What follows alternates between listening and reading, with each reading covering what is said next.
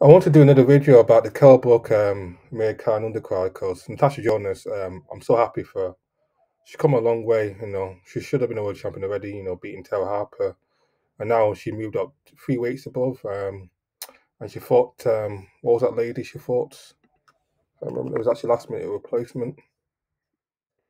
She came strong. She got, she got power. Maybe moving up might be might have been the best thing happened to her. Because she came, she had power. She, she had absolute power, Tasha. She's trying to find the thing the opponent she fought. The Argentinian one. Chris, is it? Chris Namus?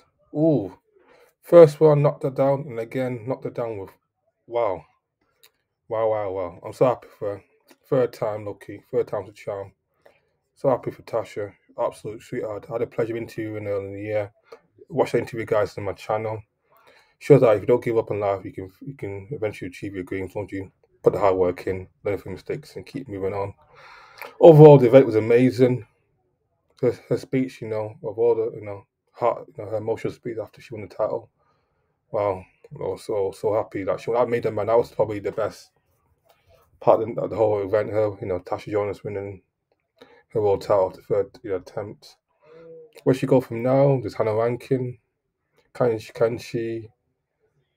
Um, will that will that her power now helping her right? We shall see. Still fights below her original weight. You know, there's maybe a, a rematch with um, um, what's her name? Katie Taylor. If she if she uh, beats Serrano in April. Um, we shall see. Anyways, I'm happy for Tasha Jones. I'm so happy for absolutely happy with her. She's a good soul, good, good human being overall. In terms of the undercard, the Frazer Clarke, mm, I didn't, I didn't watch. He's a big guy. Yes, I guess he has a pop, but I need to see him. I need. I can't see too early to tell. There's a, a journeyman, so we shall see. Viddal Riley, the probably most disappointing part of the card. Yeah. Needs to fight regularly and give maybe the, the journalism, the commentaries side of things because you should have knocked that guy out. Viddal Riley, I was disappointed. You should have knocked that guy sparked out. If you can't beat that guy as him, then he has no chance of doing anything above domestic level. Anyways, um, Tash Jonas, you're watching this video, well done. Well done. So proud of you. Well done. Anyways, guys, till next time. Adios, amigos. Chatting, Yemi boxing.